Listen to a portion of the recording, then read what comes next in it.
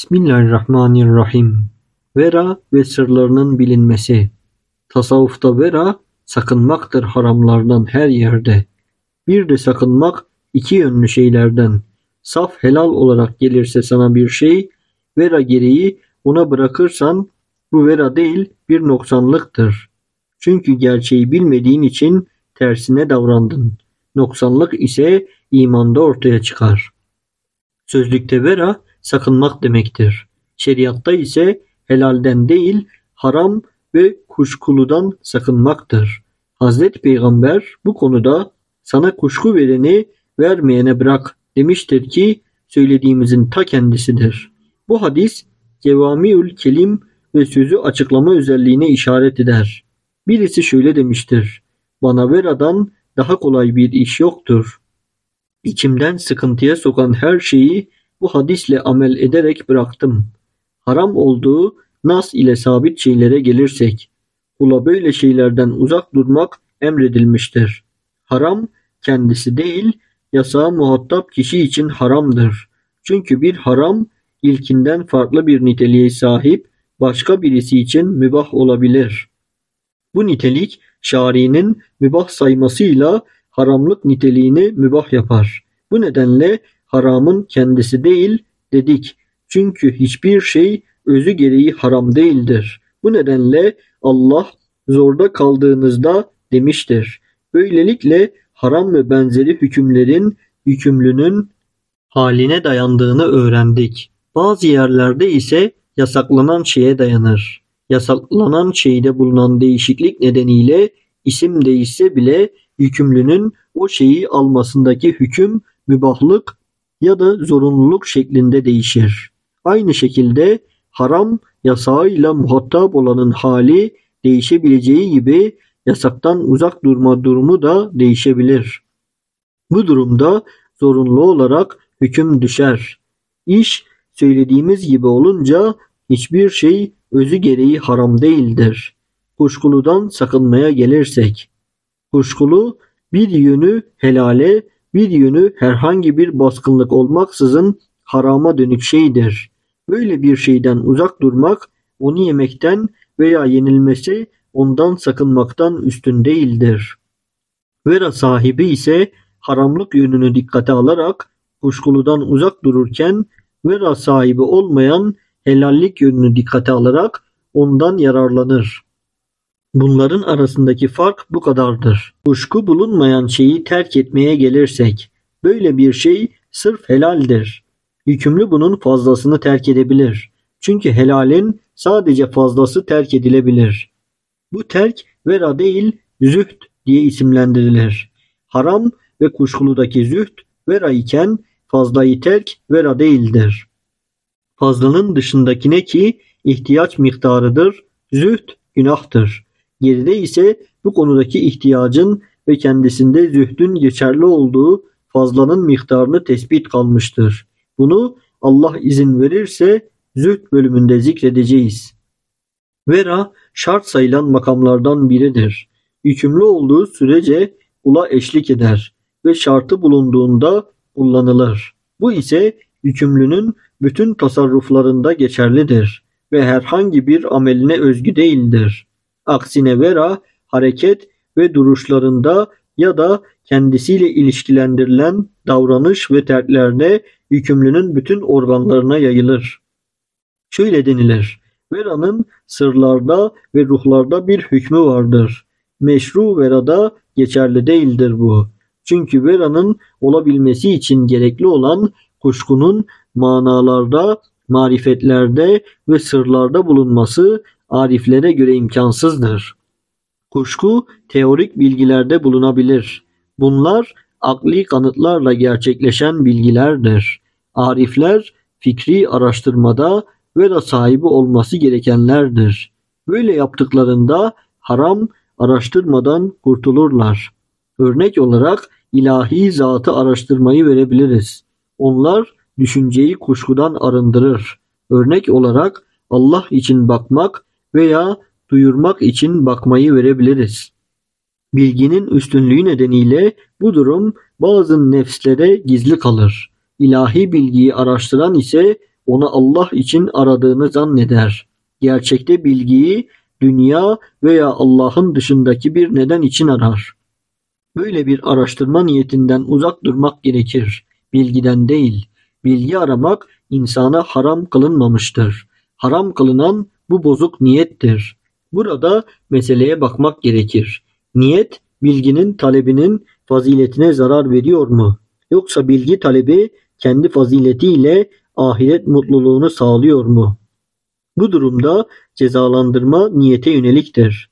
Bu konu ilahi mizanın incelenmesi bölümünde itimat edeceğimiz husustur. Bazıları şöyle der. Bütün oluş kuşkudur. Ben de bu kanaatteyim. Bu ise duyuların zannettiği gibi değildir. Rahman'ın sureti bizi bu görüşe sevk etmiştir. Böyle bir şeyde vera yapılmaz ve bundan kaçınılmaz. Çünkü insan kendisini ancak oluştan ve alemden bilebilir. Kendinden geçersen zatını ve seni yaratanı bilemezsin. Peygamber şöyle der. Kendini bilen Rabbini bilir. Öyleyse bu kuşkuluda vera imkansızdır. Aksine kuşku olması yönünden onun alınması gerekir. Ve bu durum onu helal kılar. Çünkü oluş hiçbir zaman iki uçtan birinde saf olarak bulunmaz. Bu konu akılların çoğunun ve ariflerin büyük kısmının boğulduğu bir denizdir. Ancak Allah'ın merhamet ettiği ve Nuh'un gemisine binenler bu denizden kurtulur. Vera'nın esası zahirinde, batınında ve yapmak veya yapmamak ile yükümlü tüm organlarında Allah'a tahsis edilmiş bir şekilde meşru ölçüye göre Allah için olmayan her davranıştan sakınmak demektir.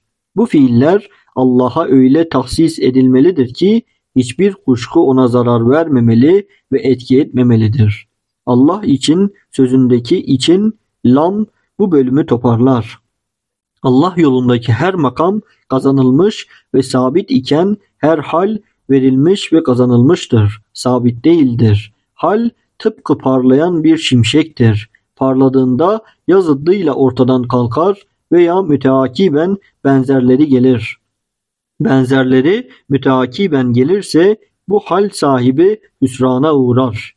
Her makam ya ilahi ya Rabbani veya Rahmanidir. Bu isimlerden birine dayanır. Bunların dışında bir şey olmaz. Bunlar bütün mertebeleri içerdiği gibi varlık da onların etrafında döner. Kitaplar bunlara göre inmiş, miraçlar onlara doğru gerçekleşmiştir. Bu üç mertebeye üç ilahi isim hakimdir. Allah, Rab ve Rahman. Bu üç isimden birisi ilahi isimlerden birisinin hükmüyle nitelenmiş halde bulunur ve kulun makamına göre bu hüküm ortaya çıkar. Söz konusu kulda Müslüman veya mümin veya ihsan sahibi olması yönünden bu isim etki eder. Bu isimlerden herhangi birisinin eseri kulun mülk veya ceberut veya melekut aleminde gerçekleşir. Ameli ise ya mutlaklık ki zati ameldir ya da sınırlama hükmüyle gerçekleşir ki bu da nitelik amelidir.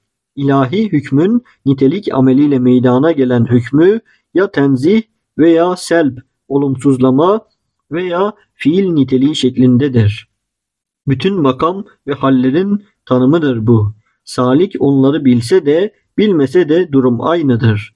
Çünkü hiçbir varlık bu hükümlerin dışında kalamaz. Fakat herkes bilemez. Vera'nın bir makamı, makamının ise bir hali vardır. Bu ise daha önce zikrettiğimiz gibi şartlıdır ve teklifin sona ermesiyle biter. Vera makamı tenzih niteliğiyle sınırlama, hakikati ise kuşkuludan uzak durmaktır. Bu ilahi makamdaki veradır. Onun sahibi ise tanınmayan, bilinmeyen biridir. Hali kendiliğinde ya da vera yaptığı şeyde bir belirti sahibidir. Allah ismi daima ona bakar. Müslüman olması yönünden ise mülk aleminde kul o isme bakar. Böylelikle isim fiillerinde ve organlarında ortaya çıkan her davranışa etki eder. Vera sahibi de bu makamın gerçekleşmesine zarar veren her şeyden sakınır. Allah ismi mümin olması yönünden onun ceberut alemine bakar ve ona etki eder. Bu durumda onun rüyaları genel anlamda yalan çıkmaz. Vera hayalde de zahirde olduğu gibi sakınmayı gerektirir. Çünkü hayal duyuya bağlıdır. Bu nedenle mürit ihtilam olduğunda şeyhi onu cezalandırır. Bakınız herhangi bir peygamber ihtilam olmadığı gibi böyle bir şey peygambere yakışmaz da. Allah'ı zevk yoluyla bilen arifler de öyledir. Çünkü uyurken rüya yoluyla veya uyanıkken tasavvur ederek ihtilam olmak hayalde duanın kalıntısının meydana gelir ki bu yalandır.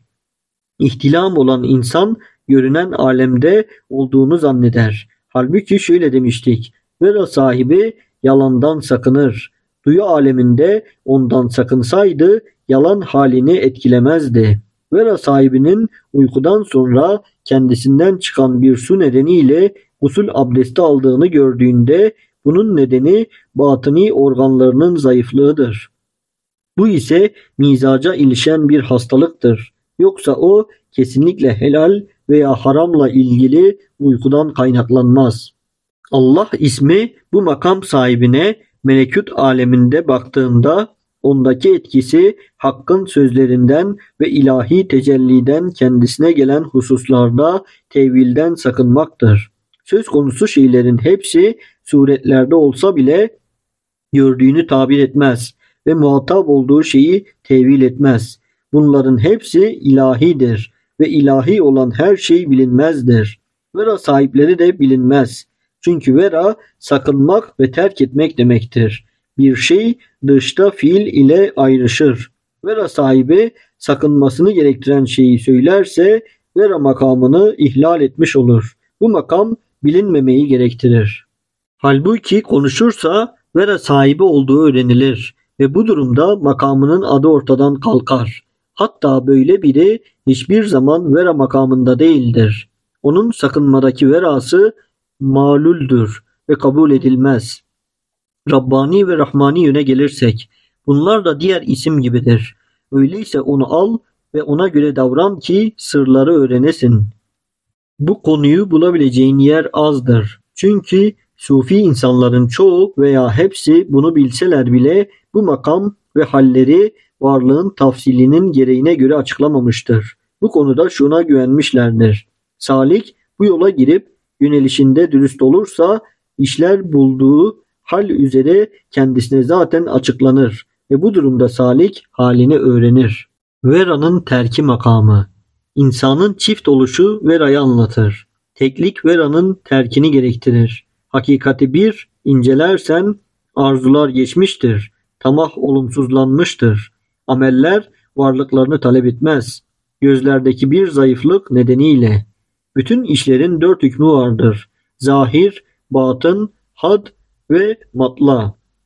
Vera sahibinin dışında ve içinde had ile hüküm sahibidir. Böylelikle bu amel kişiye her şeydeki hakkın yüzünü gösterir ki o da matladır. Böylelikle vera sahibi muttali olur ve gözü eşyaya düşmez. Eşyada hakkın yüzünü görür. Söz konusu yüzde eşya var oluşlarında hak ile irtibatlıdır ve ondan ortaya çıkmışlardır. Hakkın eşyadaki yüzünü görmekten uzak kalmak vera sahibine yakışmaz. Çünkü kul gerçek olduğunda kendisinden tecelliyi uzaklaştırma gücüne sahip değildir. Tecelli esnasında kul hükme konu olandır. Vera'nın terki makamıyla kendisini öğrendikten sonra haramı veya kuşkuluyu alabileceğini kastetmiyorum. Kimse bu görüşte değildir. Vera makamının sahibi şeriatın hitap ettiği şekliyle eşyaya yaklaşarak sadece helal olan şeyi yediği gibi sadece helal davranışlar sergiler. Çünkü hakkın eşyadaki yüzü anlamındaki yüzü görmekle hak o şeyin üzerinden alameti kaldırmıştır. Bir alamet olmaksızın ondan uzak durmak vera insanlara karşı kötü zan beslemek demektir. Allah ehli özellikle de hakkın yüzünü eşyada görenler Allah'ın kullarına karşı kötü zan beslemekten ya da vera makamına yerleşen böyle bir insanın düşüncesine insanların kabahatlerinin gelmesinden uzak durur. Arkadaşlarımızdan birisi bir seyahatte Abdal'dan bedelden birisiyle karşılaşmış, ona hükümdarların, vali ve halkın nasıl bir bozukluk içinde olduklarından söz etmeye başlamış. Bedel sinirlenmiş ve şöyle demiş. Allah'ın kullarından sana ne? Efendi ile kulu arasına girme. Rahmet, ihsan ve mağfiret o insanları arar. Yoksa sen uluhiyetin hükmünün işlevsiz kalmasını mı istersin? Sen kendinle ilgilen ve bu kimselerden yüz çevir. Allah'a bak ve Allah ile meşgul ol. Tasavvufa intisap ettiğim başlangıç dönemimdeki sadece başlangıç vardır. Son ise bilinmez ama söylenir. Ben de aynı haldeyken Şeyhim Ebu Abbas el-Ureybi'nin huzuruna girmiştim. İnsanların hakka itaatsizlik ettiklerini gördüğüm için içinde bulunduğum hal anlamındaki vaktim kirlenmişti. Şeyh bana şöyle dedi. Evladım sen Allah ile ilgilen. Şeyhin huzurundan çıktım ve aynı haldeyken şeyhimiz Ebu İmran el-Mirtuli'nin yanına gittim. Şeyh kendine bak deyince ona şöyle dedim. Efendimiz aramızda şaştım kaldım. Ebul Abbas Allah ile ilgilen diyor.